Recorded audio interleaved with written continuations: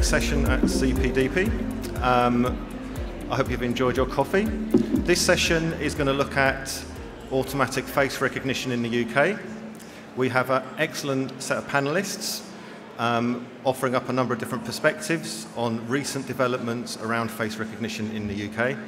My name is Professor William Webster. I'm the moderator for this session. I'm the director of a research centre called CRISP. CRISP is an alliance of four universities in the UK, University of Edinburgh, University of Stirling, University of St Andrews and University of Essex. Um, we work together to do research around all sorts of issues to do with surveillance and privacy in the digital age.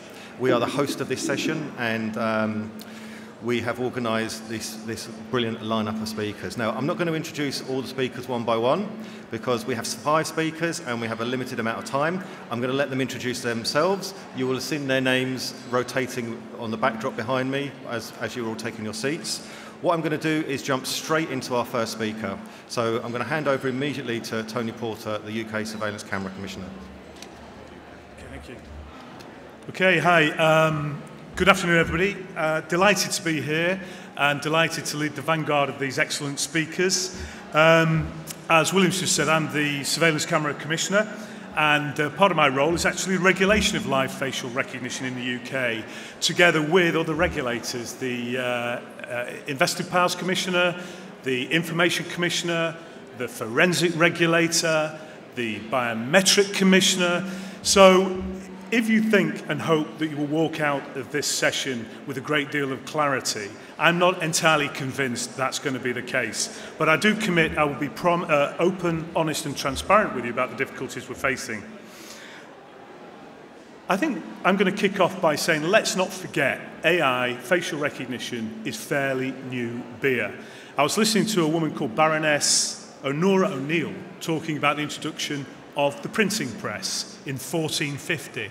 It wasn't for 150 years that legislation came on the back, such as defamation, such as copyright, that actually started to control that.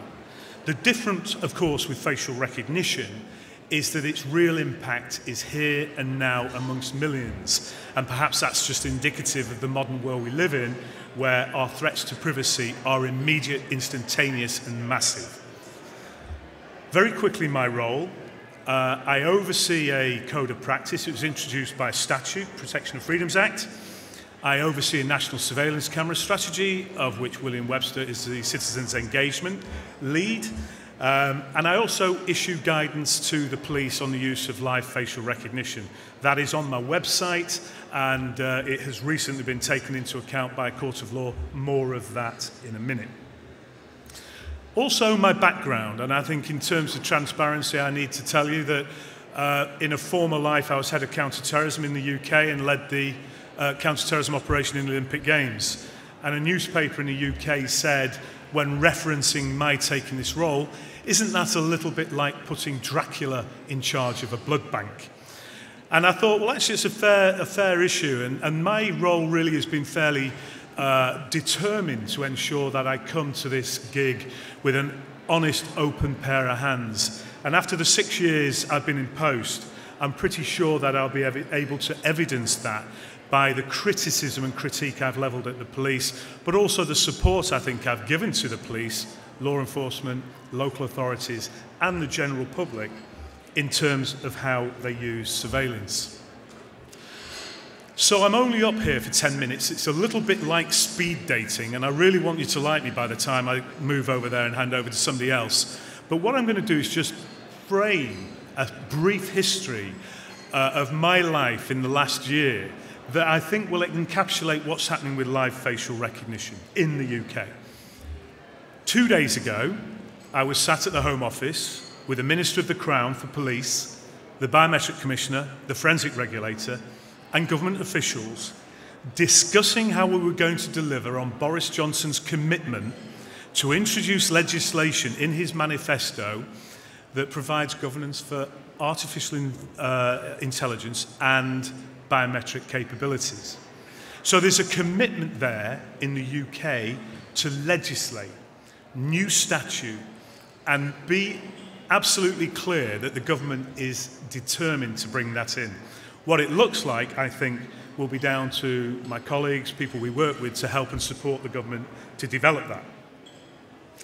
Three days ago, I read that the EU was looking at putting a moratorium on live facial recognition.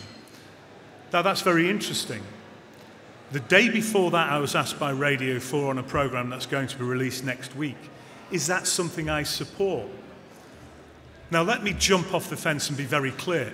I think live facial recognition will be used by the police, ought to be used by the police, can provide benefits to the police, undoubtedly. But it's in its current format, with the governance that uh, overlooks it, with the regulations, with the backdrop. In answering that question, I said, yes, I do think it's a good idea to have a temporary moratorium because I think the legislation and the regulation needs to be clearer and more transparent. Just a little before that Radio 4 interview, over, I'd say, the last six, nine months, we've seen across the world the whole issue of facial recognition clamour for media attention. We've seen the Americans in San Francisco, Oakland, uh, Minnesota, all moving away from the use of facial recognition. I have a concern about this, and the concern is I think they're asking the wrong question. For me, the question should be uh, what is it about facial recognition that's causing the issue?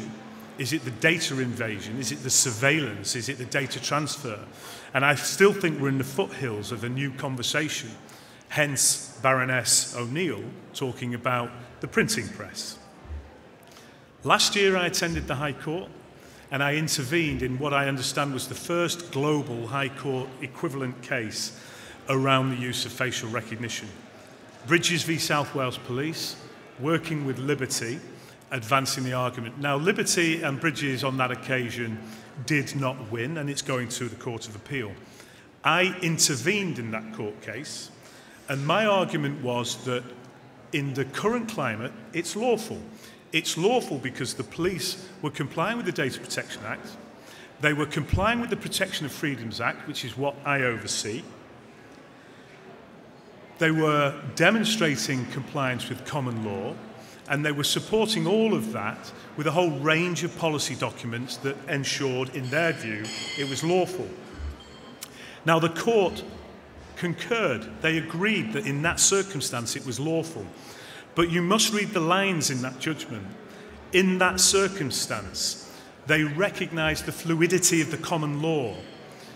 There was a nod, I would say, in the direction of the fact that it might not be sufficient in all circumstances. And I think the caveats attached around that actually are a pretty good indicator of what's going to happen at the Court of Appeal. The debate is going to advance, and I think uh, the decision may come under some pressure. But that's where we are in the UK. Am I a fan of live facial recognition? Only if used in certain circumstances. My concerns are that the legislation isn't transparent enough and that the police don't know what they should or shouldn't do. Now, as far as I'm aware, I'm the only regulator in the UK that's intervened on five occasions to stop the use of live facial recognition. So, whilst I've said it's lawful in Bridges v South Wales, I have caused the cessation. Why? Because, in my view, the proposals weren't necessary, they weren't proportionate, there was no command and control, there was no oversight, there was no legal advice, there was no guidance. It was wrong. And I wouldn't say the police were bad. The police were trying to catch bad people, but their infrastructure around it wasn't good and there was no senior top cover. So all those protective things that society demand weren't in place, largely born out of organisational incompetence at that level. It's no excuse. And I've been very firm with chief constables, and I think the judgment in Bridges has also uh, provided clarity and direction. So, I think I've got a few minutes left uh, too. In the conversation with the Minister, we talked about the availability of DPA and GDPR. Is it sufficient?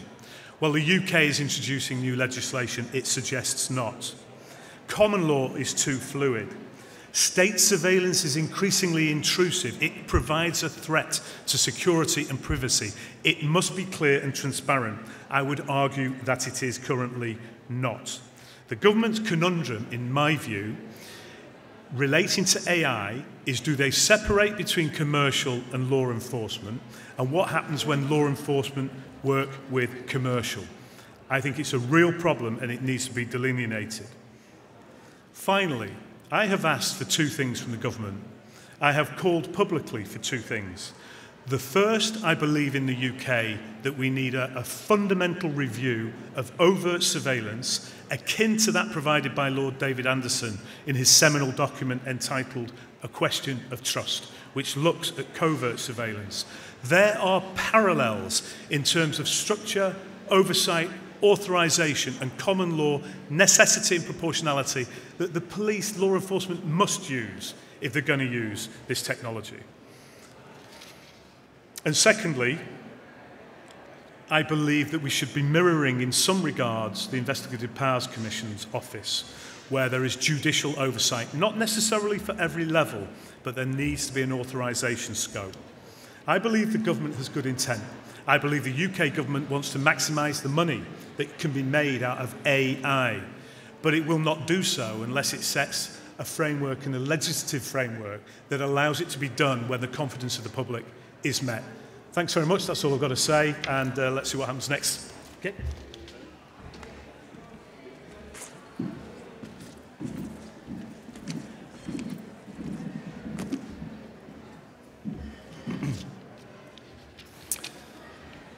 Okay, um, good afternoon, everyone. Uh, thank you for joining me. I hope you found today as informative as I have.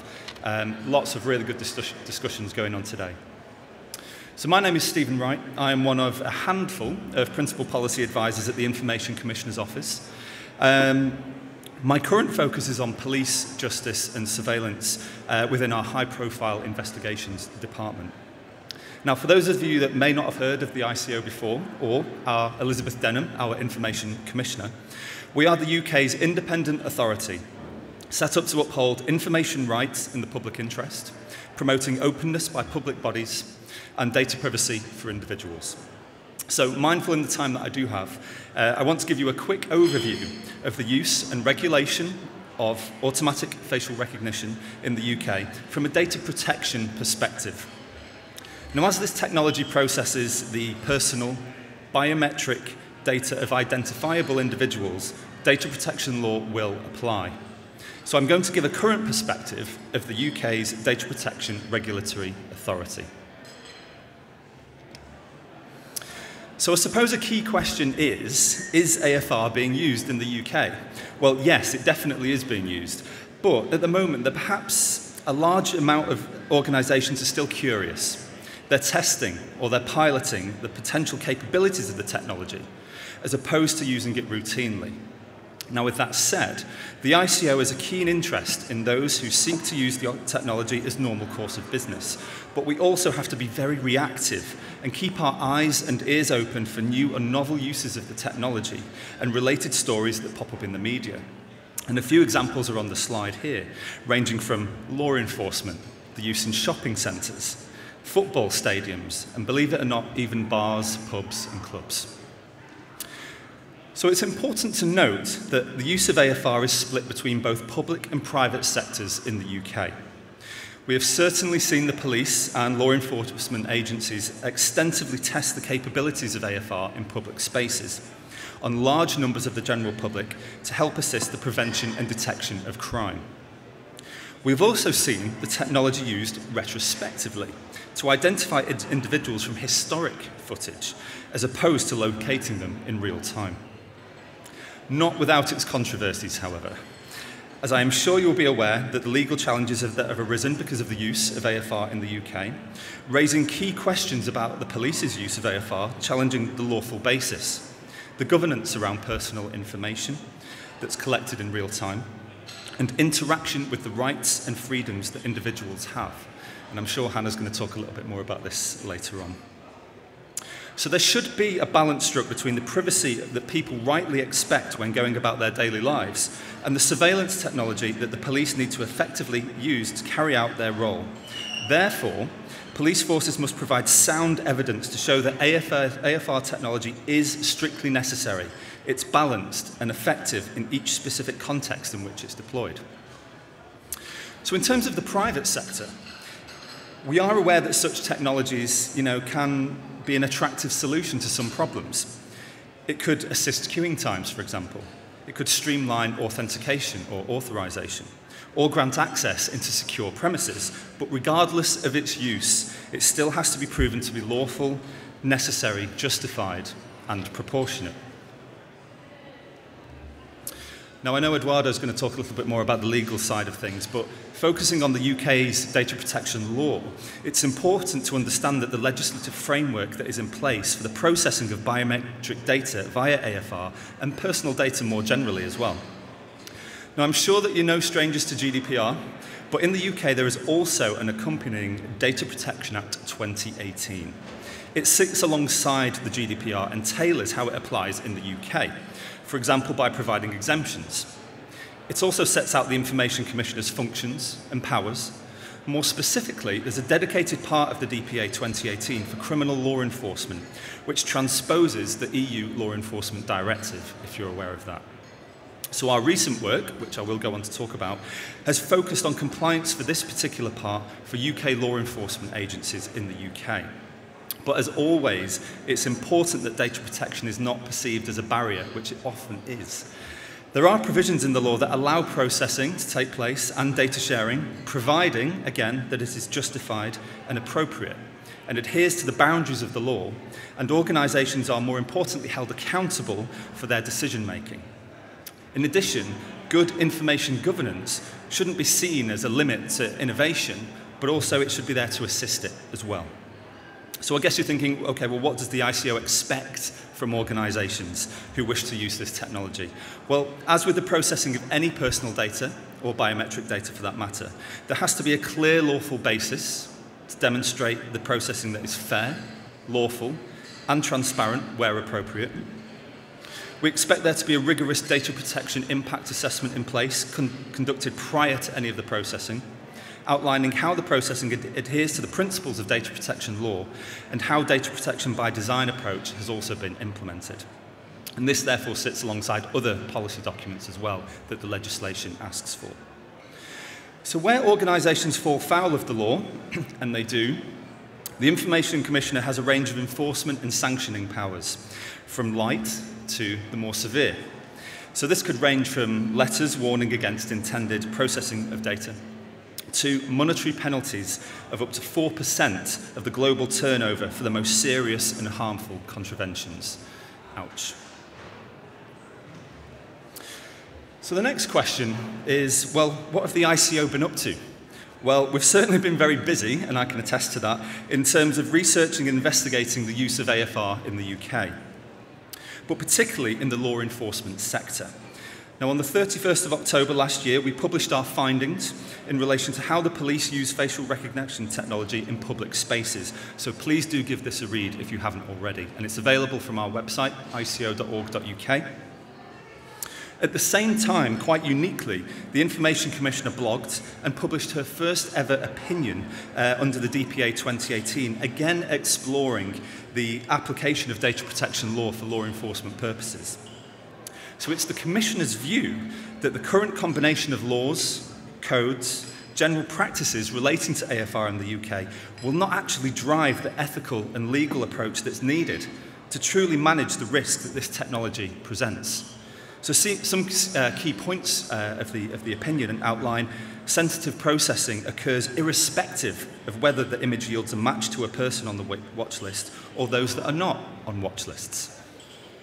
Data protection law applies to the whole process of the use of AFR, from consideration about necessity and proportionality, to the compilation of watch lists, to the actual processing of the biometric data, all the way to the retention and the deletion of this data. So controllers must also identify a lawful basis for the use of AFR. This should be identified and appropriately applied in conjunction with other available le legislative um, instruments, such as codes of practice, like Tony mentioned before. And the Commissioner does actually intend to work with other relevant authorities and supervisory authorities with a view to strengthen the legal framework by means of statutory perhaps or binding code of practice issued by the government. So I did mention some resources on our website, and just to kind of close, um, as always, the ICO has a vast array of resources on their web pages to assist organisations processing personal data in a compliant way. We are also working to update our existing um, guidance on video surveillance technologies, including AFR, but also body-worn video, automatic number plate recognition, and drones, just to name a few. So please also visit our AI auditing framework pages where we have published our thoughts on a range of technology and innovation topics, featuring blogs from a colleague of mine, Reuben Binns, who is actually speaking right now, but in another room, and he's going to be here for the next few days as well. Um, and I think it's important to say that there are other resources that do come out quite regularly. And only today we have our age appropriate design code as well, which has been published for those that have seen it. So thank you very much for your time. I hope you found that useful, and I'll pass on to the next person. Okay.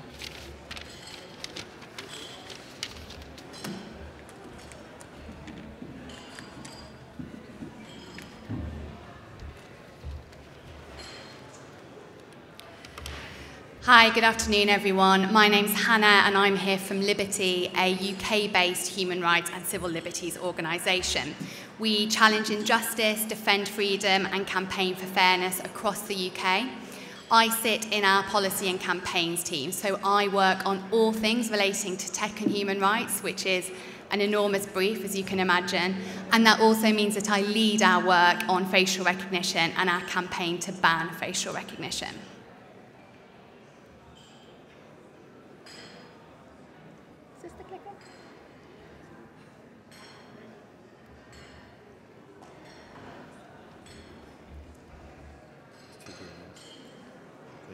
There's two green buttons, I would like everyone to know. So, you've probably heard a great deal here about facial recognition today. Some of you will already have your own expertise and experiences with it. You'll know how it works, and we've already heard today how it's being used in the UK.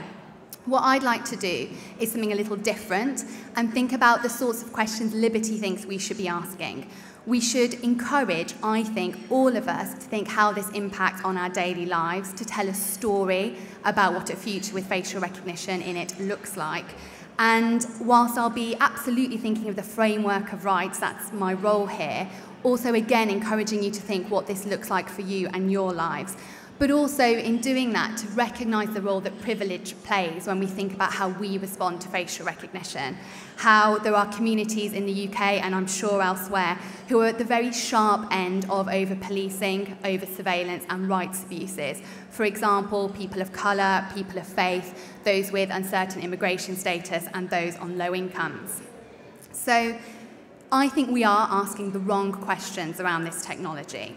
We're talking about how we regulate it, how we apply ethics to it, how we do all of this once we're already using it. I think we need different questions. We need to ask questions around human rights, how this corrodes those human rights, and whether that means we should be using it at all. And I wish that question had been asked before it was used in the first place. So I have five questions I'd like us all to ponder today, and perhaps we can discuss those further together during questions at the end. So, Question one for me is really what is privacy and why does it matter?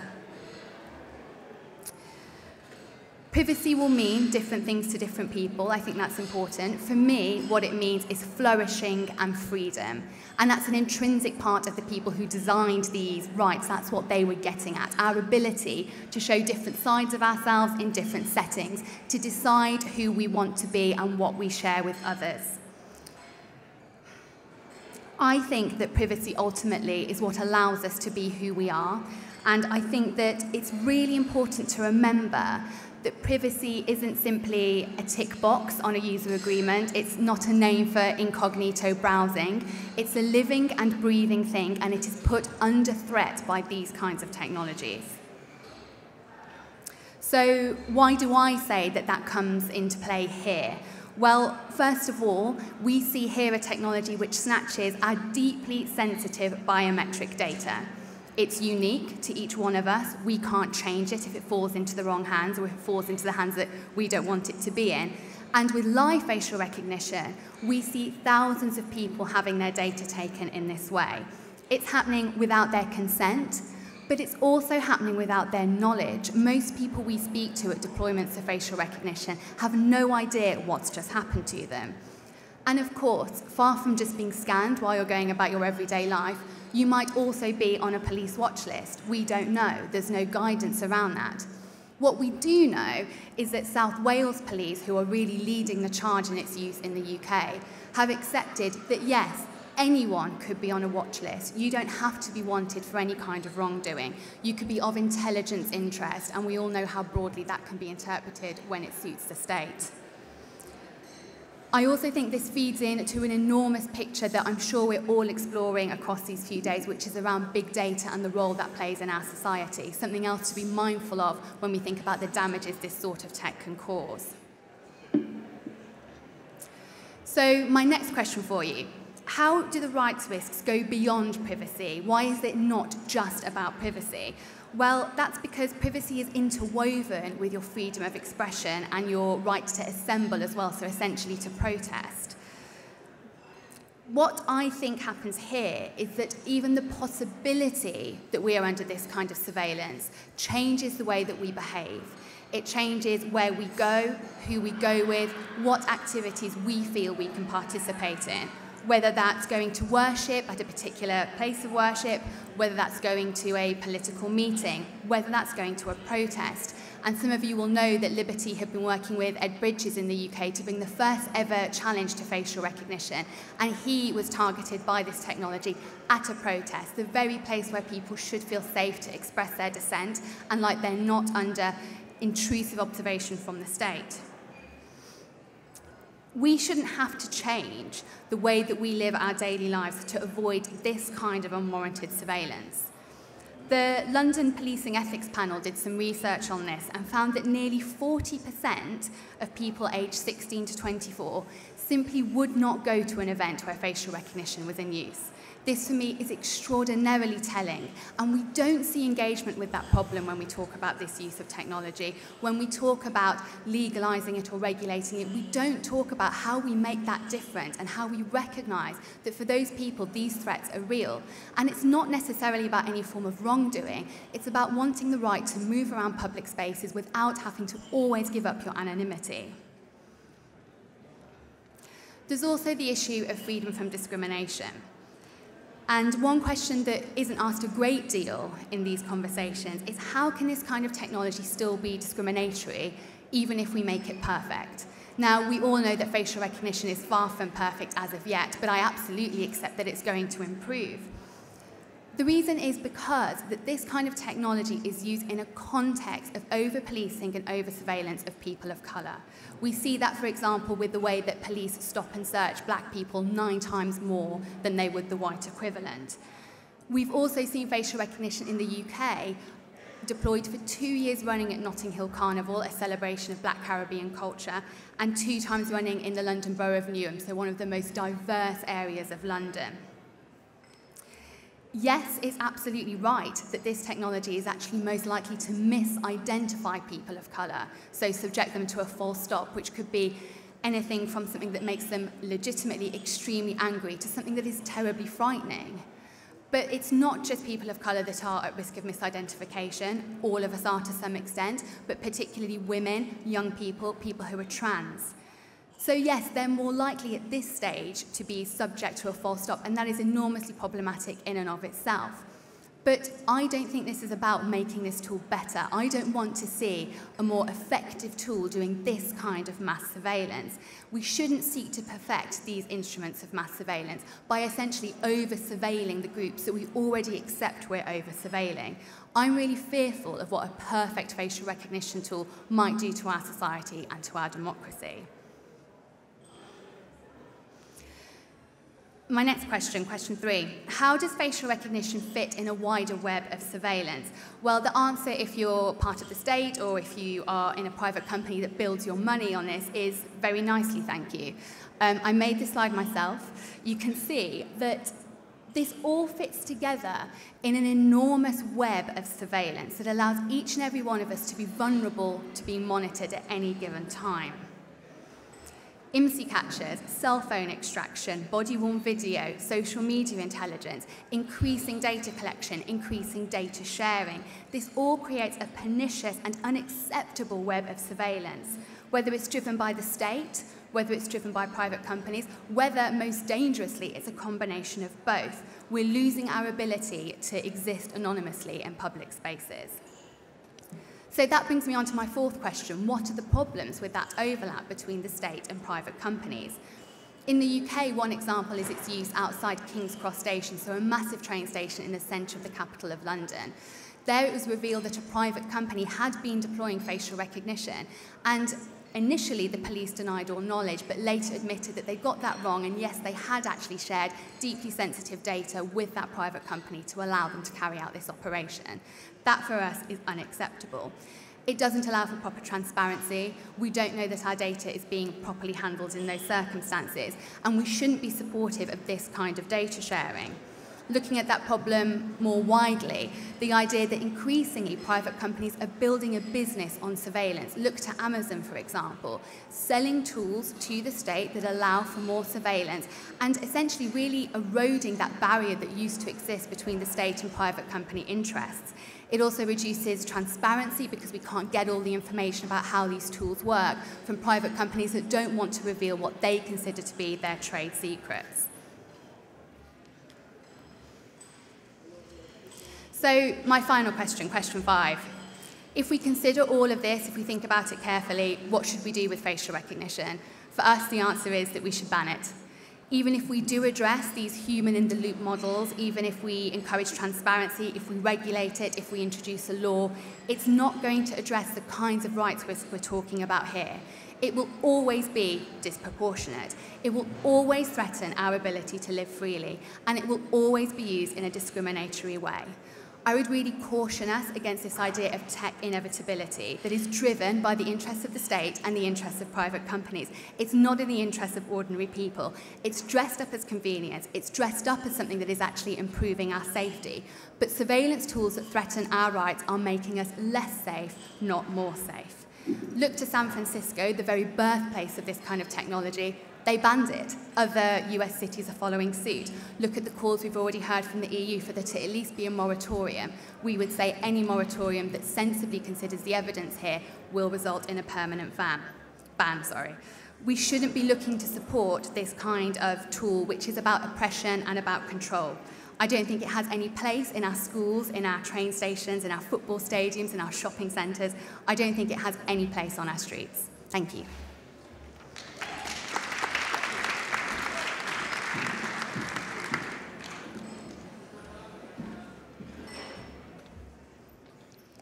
Well, those were some compelling, strong arguments on some fundamental questions for, for the way in which we go and, and try to live our lives. So I'm going to bring this down a, a level in terms of, uh, I think, I'm going to pose a much more mundane question, perhaps, but important. Important in the context of the debate we're having as to whether this type of facial recognition technology should be banned or should be restricted in some way or should be regulated in, in any special way. And the question I'm, I'm posing is how does the current framework affect this type of technology of facial recognition? Or to put it in an even more mundane way, how the GDPR and the sister enforcement uh, legislation, law enforcement data protection legislation, deal with this issue and how they regulate the use of automatic or autom automatic facial recognition. And we need to start from the very basics. And you may say, well, of course we know this.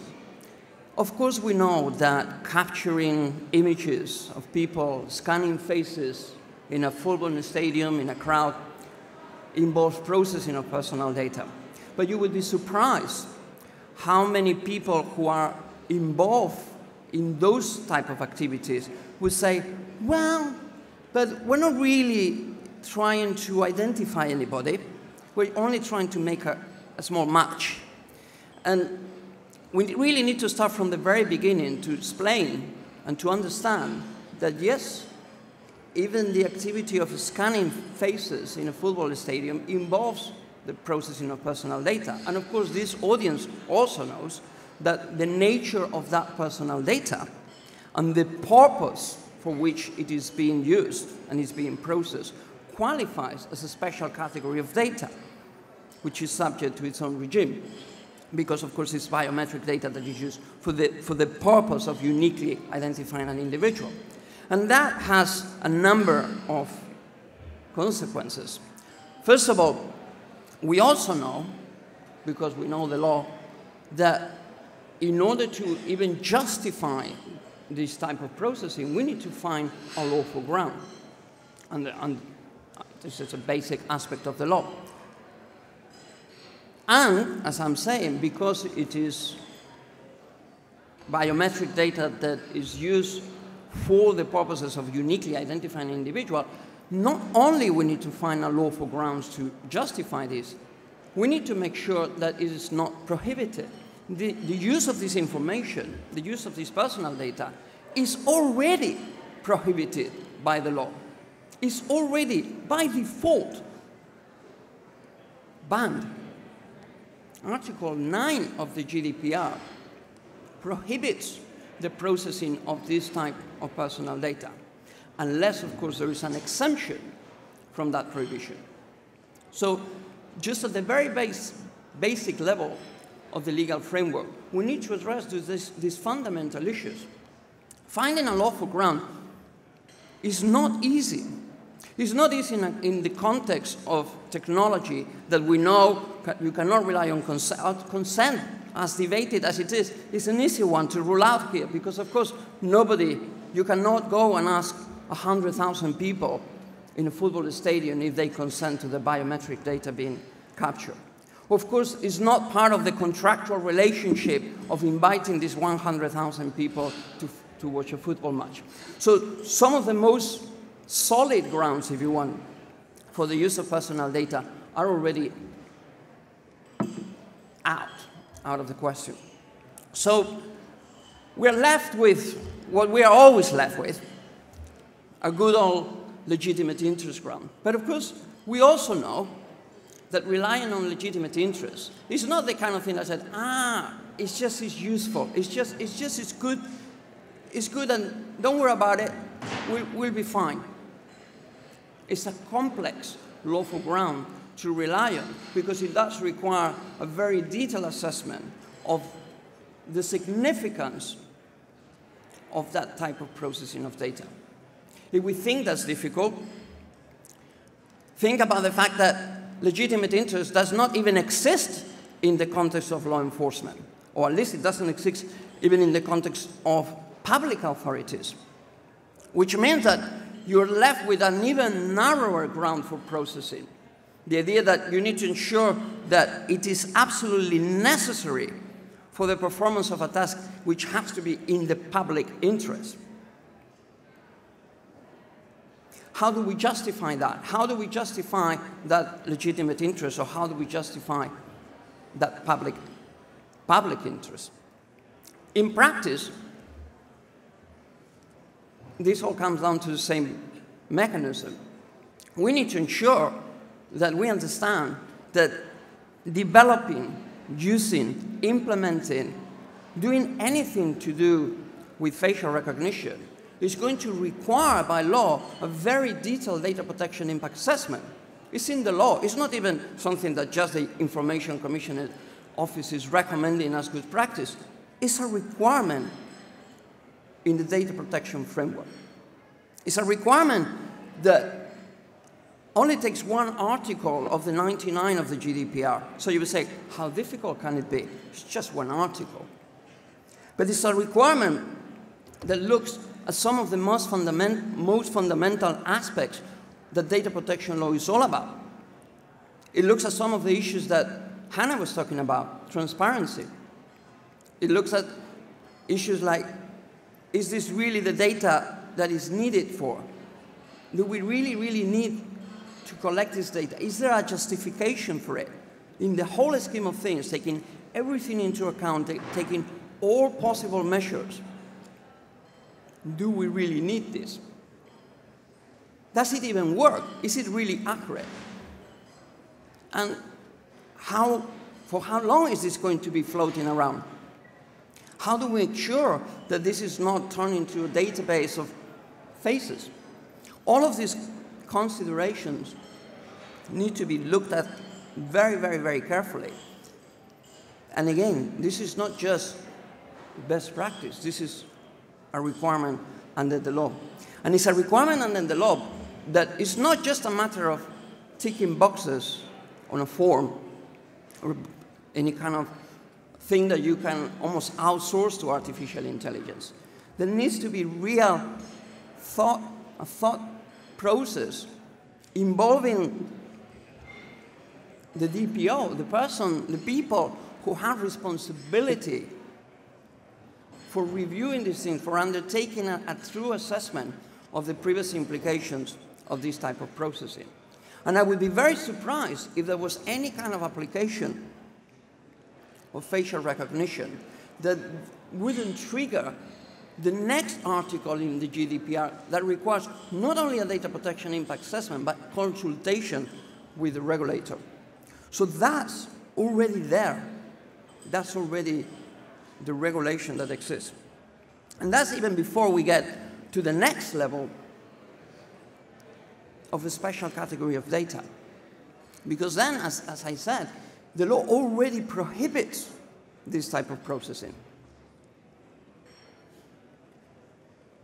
Unless, of course, you have an exemption in place. An exemption that, when you look at the possible exemptions under the law, there are many that would be relevant. In fact, there's only probably just one that you can rely on. And if, you think, if we think that legitimate interest is difficult and public interest is difficult, substantial public interest needs to reach a new level. A new level that the law itself, the, again, this is not just good practice, this is in the text of the law that requires that this assessment, and in order to apply this type of exemption, the law has to be there and it has to be proportionate already to the aims. And that practice or that activity has to respect the essence of data protection rights and data protection law. The essence of data protection is something that the European Court of Justice is looking at. This is not just baseline level compliance. This is some of the most sophisticated aspects and difficult and complex aspects of data protection law that the highest courts are looking at. So when you look at that, and then you add the practicalities of the existing framework at a, at a member state level, in my case, here in this panel, the UK, you also need to ensure that you meet the, the practical requirements that are there in the law. In the law, in, in the Data Protection Act, there is a specific requirement to ensure that if you are going to rely on this type of exemption, there has to be an appropriate policy document. It's a new creation of the new Data Protection Act. This is to say, in barely 10 minutes, that this is an area of practice or an activity that not only is already banned up to a level, but is strict, very strictly regulated. And if anyone is involved in, in developing, in using, in implementing this technology, it is absolutely crucial for the lawfulness of their activities to ensure that they follow this process. Thank you.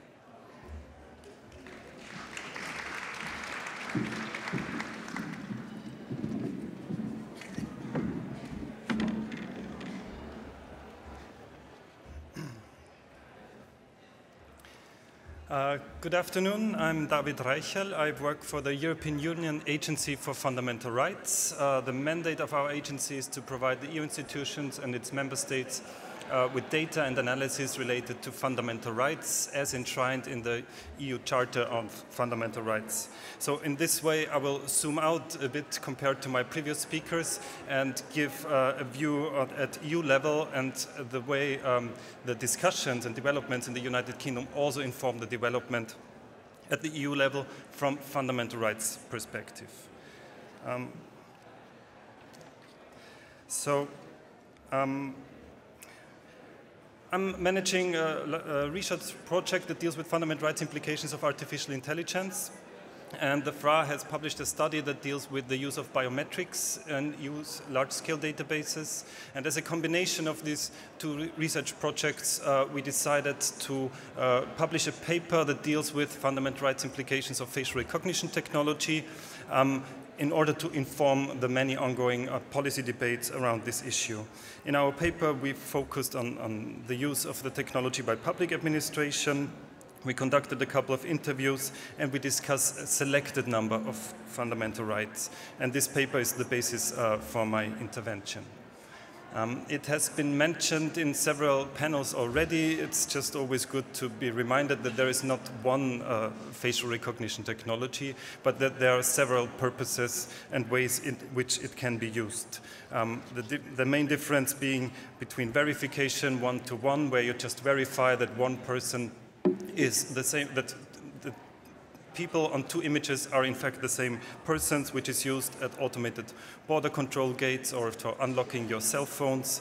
For identification, also called one-to-many, where one image is compared to several others, and it's tried to be um, um, um, detected if this person is on the list um, of this watch list, for example. And live facial recognition technology, as it's been discussed also in the UK, is part of identification, but it, it proceeds in two steps. First, from video material, it needs to be detected how many faces, is there a face on the video, and then this face is taken and compared to a watch list. And lastly, it is also important, it's used for categorization, which means not identifying individuals, but rather deducing characteristics of individuals um, from the face of people, like, for example, gender identification, ethnicity, and age. And there are several other adventurous research uh, on what can be seen from a face. Um, so focusing on live facial recognition technology, we tried to get an overview of the use cases in several uh, EU member states. And here the United Kingdom obviously stands out because it's the only country uh, where the technology is used also using real watch lists. Um, but there were tests uh, and there are plans in many other EU member states as well. For example, in Germany, there was a large test at the train station, but this test involved volunteers, where volunteers could sign up, they delivered their images, and then um, other people were informed that this test is uh, going on here, and then it was tested uh, uh how accurate the technology can identify the volunteers on the train station. A similar test was done at the Carnival in France, in Nice, uh, where also volunteers signed up and uh, then it was checked how accurate the technology can detect people uh, passing by. But as I said, also other member states uh, bought software and have plans on using the software and are doing tests. Um, so from, from our uh, small research, one of the main findings in a way is a non-finding because there's no comprehensive overview on who is in fact using facial recognition technology and, and for what purposes. So even in the UK, but also in, in the tests in the other countries, it's not really clear who should be put on the watch lists. And if you don't know exactly or not clearly define who should be on watch lists, it is really difficult uh, to assess the purpose of the use of the technology. There are also plans at EU level, um, not live facial recognition, um, but to use uh, faces, uh, facial images in large-scale databases in the field of migration um, and security. And there's ongoing research on facial recognition technology. It's been mentioned before, the private sector is also an important user of the technology, but in our paper we did not uh, look into this. So what are the fundamental rights considerations? It's important to acknowledge the public perception of the technology from the outset. Um, it is there's not much uh, information and only few data collections about how people feel about the use of the technology. And well, it's often reported that the majority of people, in fact, feel comfortable with the use of the technology. There's always a certain specific share in the population that feels extremely uncomfortable being subjected to facial recognition technology. There was one survey carried out in the United Kingdom, for example, where one in 10 of the respondents said, I feel really uncomfortable when the technology is used by the police. Um, if it's used by uh, private companies, people feel actually much more uncomfortable. Um, when it's used. So it needs to be acknowledged that there's always a certain share in the population that does not agree uh, with the use of this technology. And if it's then used, um, the, the treatment of these people needs to be taken into account. And this also impacts on the human dignity, which is in fact the foundation of fundamental rights. Um, as we know, some of the fundamental rights can be limited, and we had the discussion already, but there are clear criteria set out when fundamental rights, such as the right to uh, uh, privacy and data protection, can be limited. As previous speakers have already also discussed, it comes to it must be based on law, it must be necessary, and be proportionate. Um, so the way it interferes with fundamental rights, of course, depends on the purpose. For some reasons, it might be a completely different case as for other reasons, depending on who is uh, put on the watch list and also the place where it's being used. Um, lastly, a point uh, on accuracy it's important to acknowledge that accuracy is really difficult to assess. There are a lot of percentages floating around on false positives, false negatives, and they are really often uh, not correctly interpreted. The percentages always need to be put into relation of the actual numbers, like how many people are actually uh, um, crossing uh, the street, how many people are subjected to the technology, and also how many people are expected to be uh, the, wanted in a certain area. And this way, the false positives and false negatives uh, need to be balanced against each other for the uh, uh, purpose of the use of the technology. Also, when you want to try to justify the necessity of the use, while there's a lot of important focus on false positives, also the false negatives are relevant. Like if there's a 60% likelihood of finding someone, we need to understand what does this tell us for a specific use case. And then also um, why it's needed to have a discussion on the accuracy rates.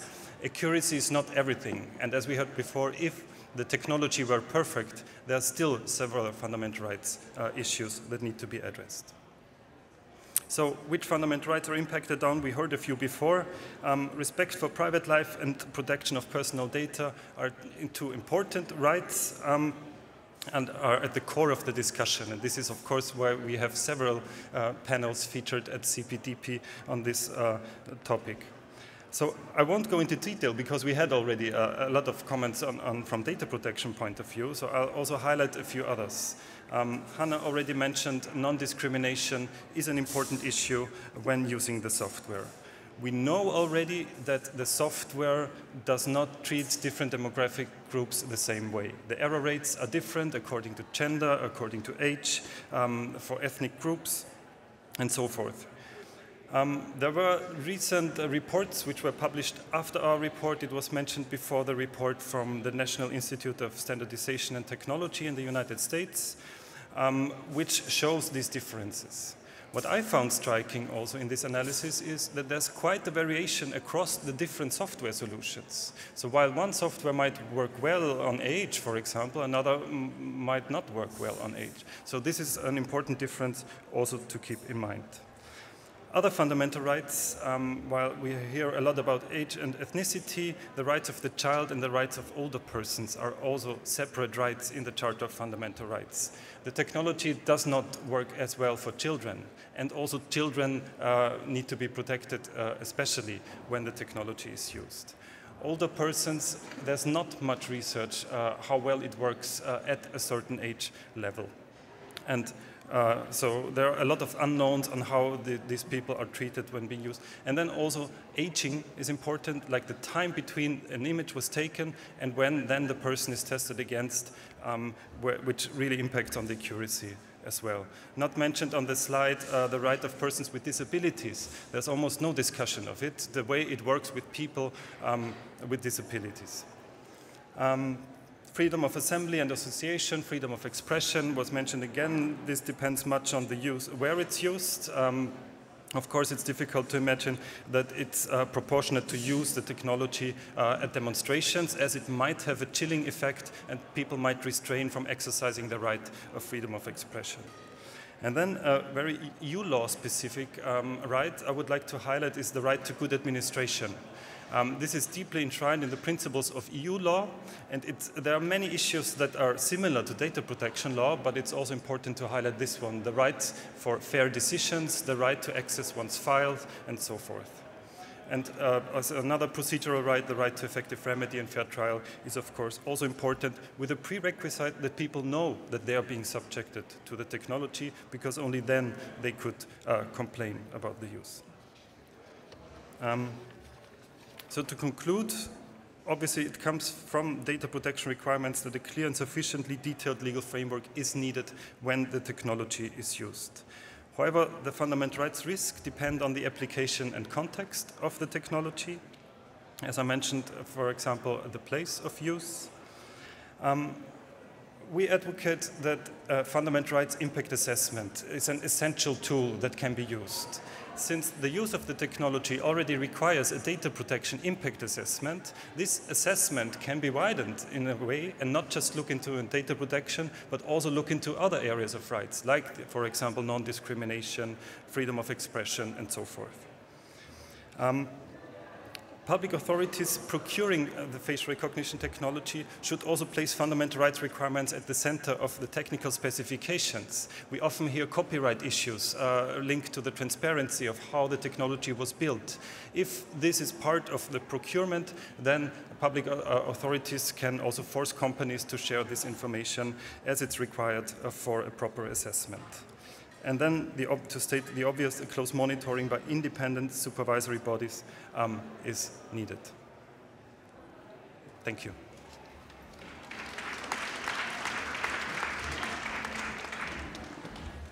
Okay, I'd like to start by thanking all our speakers for their impeccable timekeeping, which I've been watching on the screen. Um, okay, so I'm the moderator for the remainder of the session. Um, I think what we've seen is that face recognition in the UK is contentious. It's contemporary. There are live trials going on at the moment. There are a number of initiatives where this technology is being used. There is uh, a number of uh, court cases that have been through the system that are in action in, in terms of appeals and things like that. So it's a very live issue in the UK. So we try to give you a flavour of what's happening. Um, we also see that there's a bit of a regulatory quagmire around the use of AFR in the UK. So we see different agencies grappling with the legal requirements around this, this sort of technology. And there does feel a sense of um, that there's going to be a point coming on the horizon where the UK is going to have to make some decisions about whether or not this technology should be specifically legislated for or regulated against, whether self-voluntary regulation will do, whether or not the technology should be banned or put into a moratorium, um, or whether or not it should be promoted with the, with the interest of the technical industry behind, behind it. So we're going to move to the Q&A session now. Uh, we still have a number of minutes left for questions and answers. Can we follow the usual pattern where just it just go up to the speakers if you have a question, up to the microphones rather. Um, please introduce yourself, please any institutional affiliations, and we'll, we'll share the questions out amongst our set of panelists.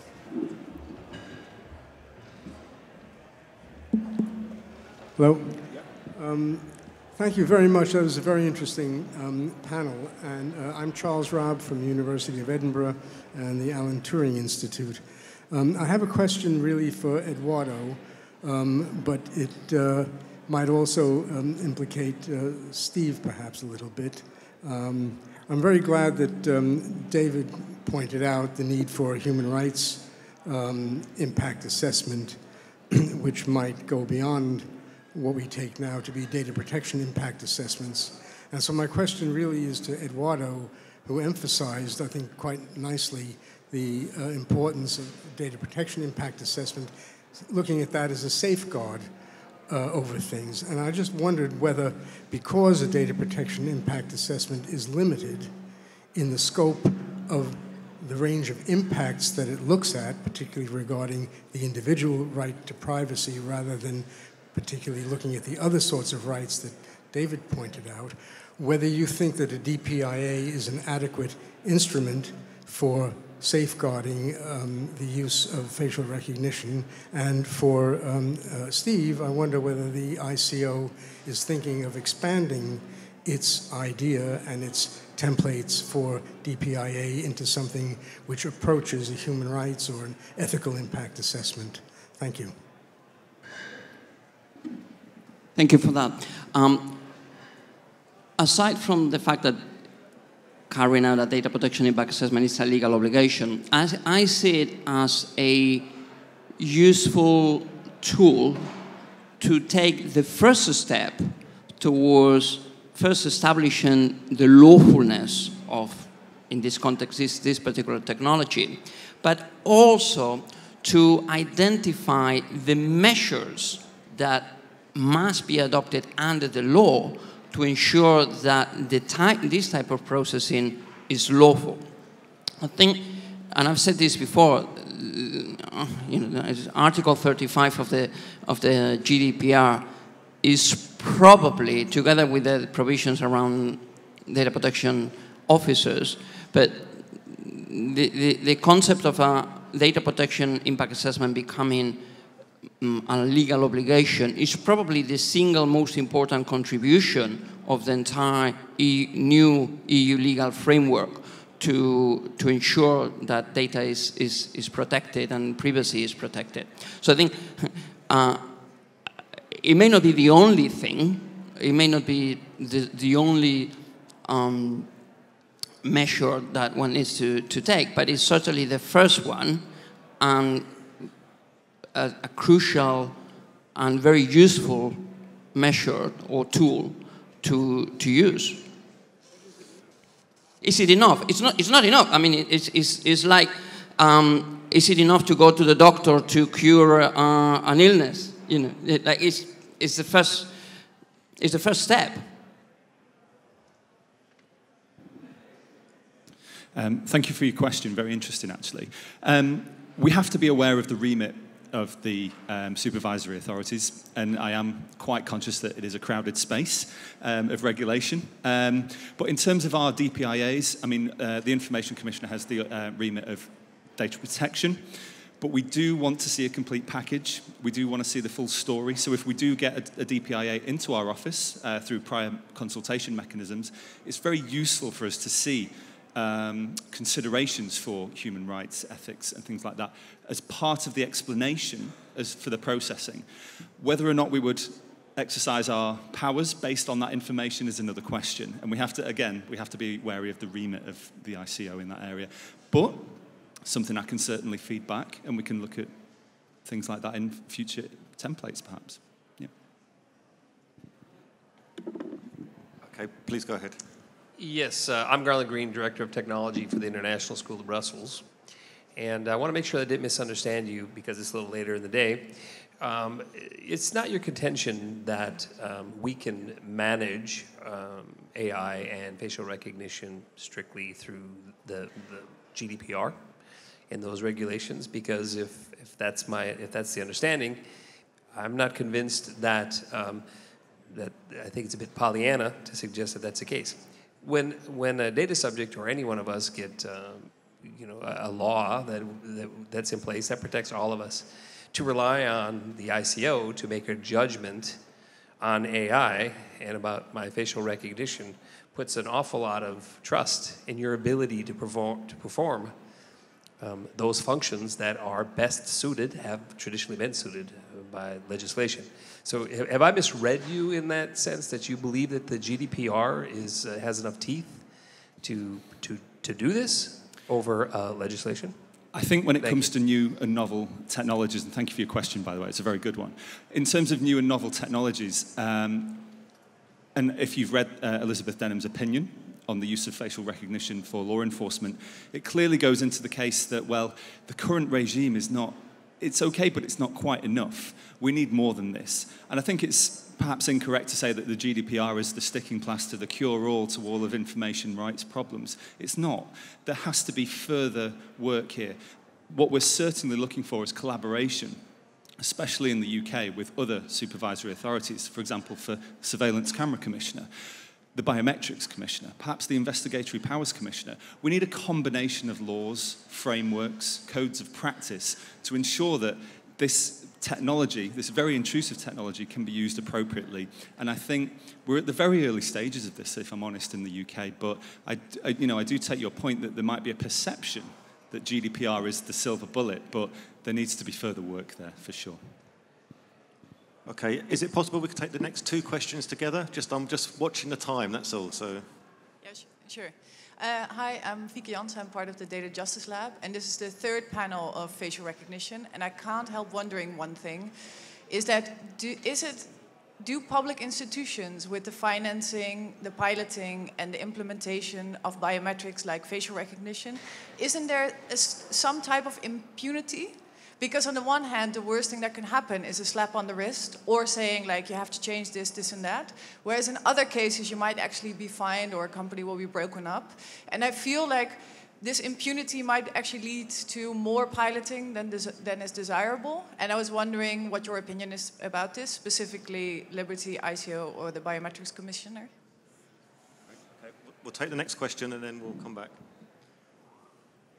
Alexander Dix from the European Academy for Freedom of Information and Data Protection. Um, no one has mentioned yet uh, on this excellent panel, otherwise, the report by the New York Times about Clearview, which appeared last week. Um, I remember, um, I suspect everyone knows what Clearview is. It's a software company which apparently has amassed a huge uh, database with uh, pictures uh, uh based on, uh, uh, uh, on artificial intelligence. And these, this software is apparently being used by American, different American police forces. It's not being used in Europe so far, as, as far as we know. I just wanted to recall um, Richard Thomas, the former uh, UK Information Commissioner, once at an international conference in Jerusalem, which I had the privilege to attend, uh, called on the DPAs to actually engage with normal people on the street once this technology will become available. Just imagine what women will say when they have to fear that everyone, anyone around them is able to identify them uh, while walking down the street. Uh, one of the uh, um, people uh, behind Clearview apparently has already designed a kind of new Google Glass. So you could put on this glass and just uh, identify anyone uh, around you.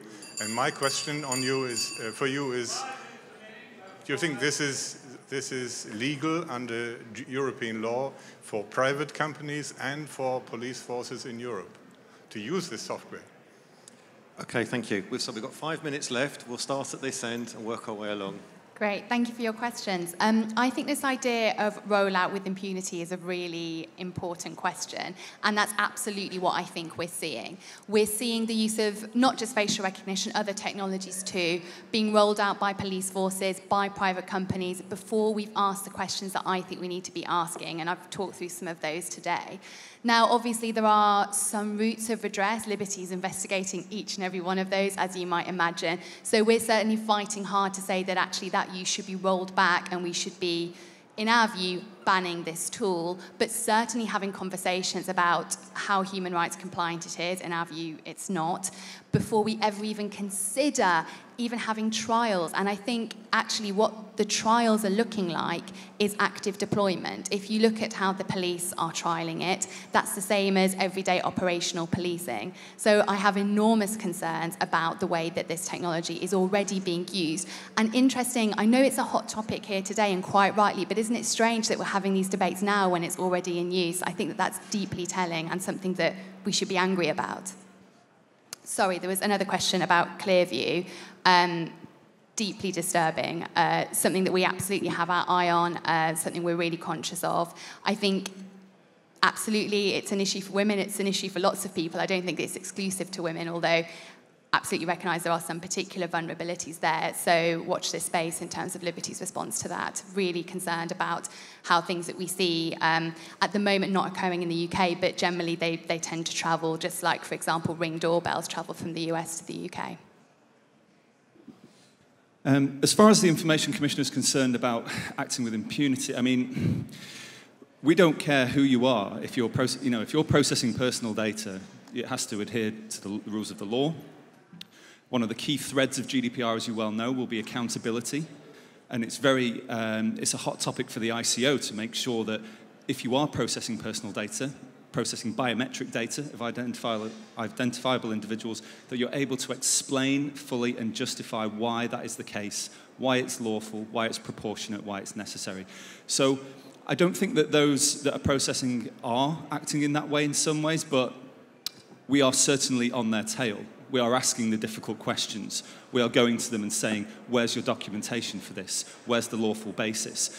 And we're seeing it trans, uh, move into the, the, courtroom as well. We're seeing, you know, this is, this is happening. I probably agree with what Hannah said. It might be a little bit further down the line than we wished, but we have to deal with the, current situation as it stands, as it is. Um, in terms of the Clearview case, very, very interesting case, uh, very worrying case, if that, you know, if what they say is true. Um, surely those who use social media have a reasonable expectation that if they put something on the internet, it won't be used for something else.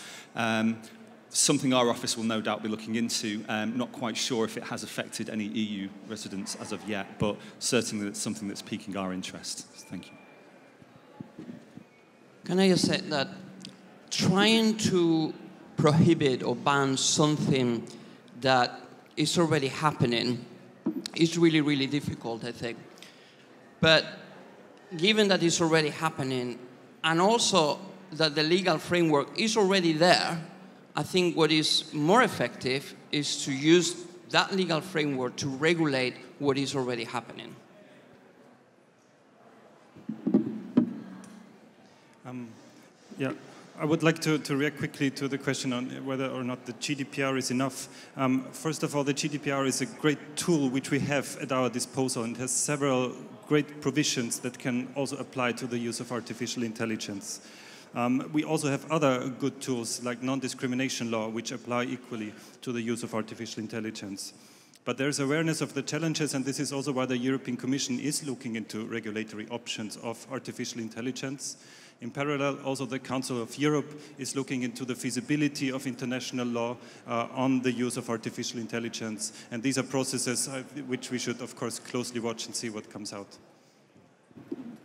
Okay, and finally from me, um, I don't think GDPR is sufficient. I do think primary legislation is required, that is more robust, provides greater guidance. Um, I think that uh, there needs to be a very nuanced look at this uh, use of technology because it does provide a threat to human rights. It provides um, threats to the way we live, freedom of expression. All of those are, I think, uh, paramount. However, uh, the state has also got an obligation to protect us. And I believe that that regulation needs to look at the narrow circumstances where this technology may support us rather than dismiss it out of hand. And I think that is the very difficult question that has to be engaged. Um, the terrorism attack on Westminster Bridge, it is eminently foreseeable that a very narrow deployment of this technology in a narrow set of circumstances could have been of fundamental use. And I think the question has to be have we got the wherewithal to develop a framework of oversight that provides sufficient confidence to the public that it can be deployed to keep us safe? So I, I, very much stay on the side of not throwing this technology in the bin. But I do remind you that actually, despite the comments I'm throwing out, which is yes, I do think it's got a role to play, as far as I'm aware, I'm the only regulator in the UK that's actually stopped the police from using it on five occasions. So I think there is a really nuanced piece of work that needs to be placed. But top, there needs to be new legislation. Okay, that's great. We're out of time, so I'd just like to finish by asking you to thank our speakers in the traditional way, and uh, you can grab them for a chat during the rest of the conference. Thank you very much.